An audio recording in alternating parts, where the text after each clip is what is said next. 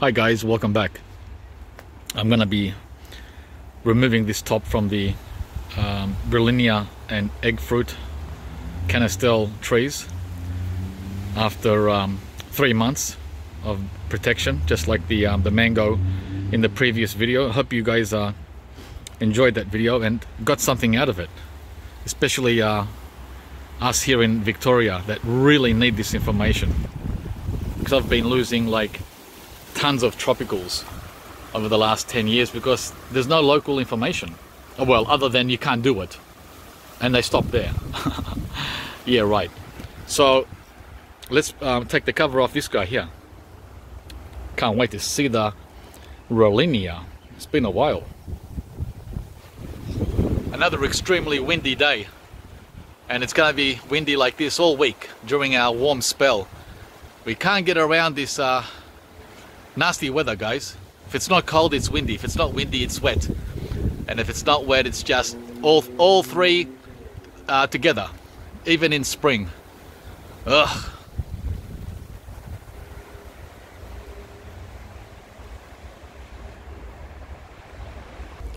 So as a heads up, even this uh, extremely high grade frost cloth can get ripped. It's only been on here for, geez, how long have I had it? A month?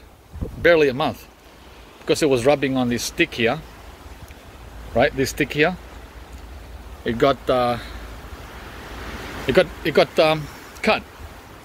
So it's a good idea to put something soft over the stick to prevent this. Every corner got ripped like that. It's very windy, it wants to fly away. But you can see the rip very clearly. Right? Yeah. That's how long the uh, the new cloth was that I put on there a month ago from Daly's. It's almost uh, four meters long. And as you can see, the old ones had it. Look at this. Wow, what a rip. And all those holes there. Let's go into the garbage.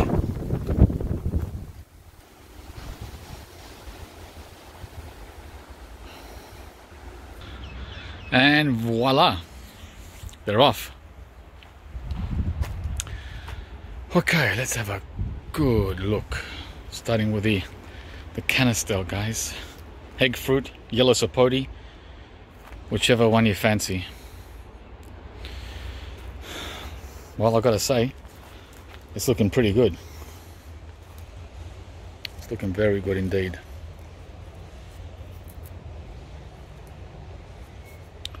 Let's get deep inside there. It looks like new growth in the middle. Yep, nice.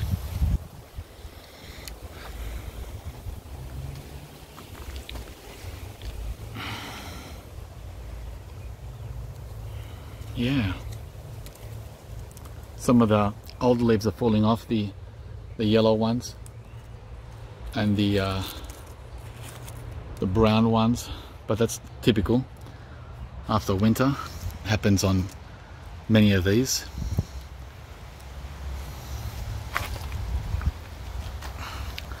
But I'm pretty stoked about the uh, um, frost cover. I'll have to use it again next year though. Still a baby. See look how small it is. It's only like um, not even a meter barely a meter high.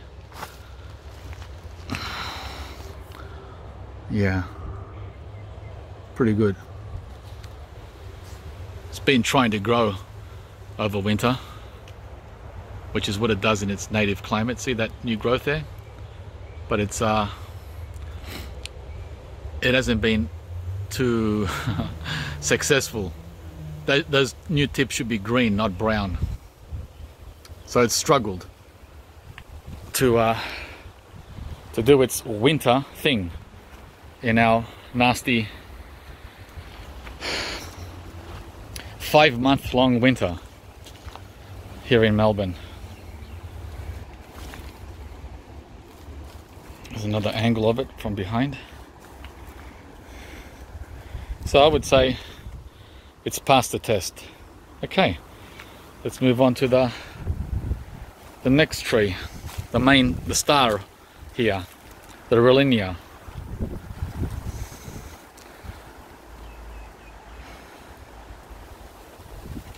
Also known as Brazilian custard apple, right? And a few other names.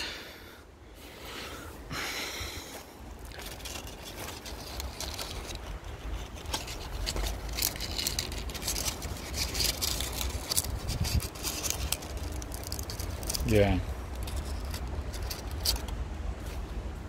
So I'm looking for new growth.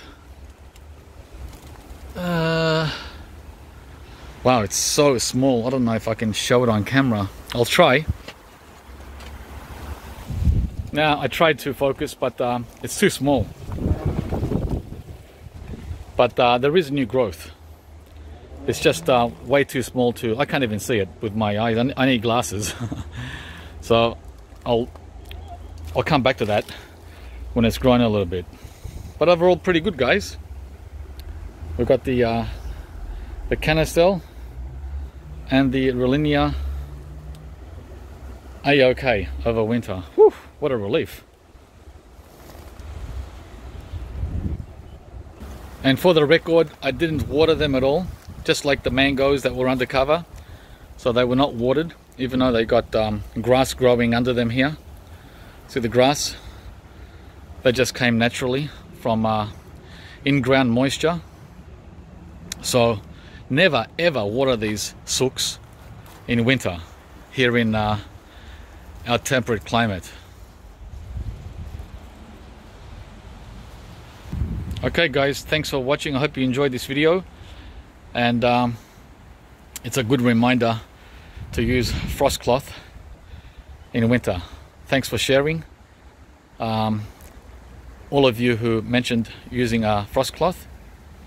And uh, we'll see you from the next video guys.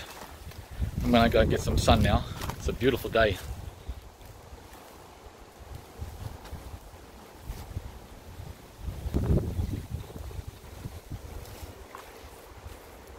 ice cream banana, blue java, coming up in one of the future videos.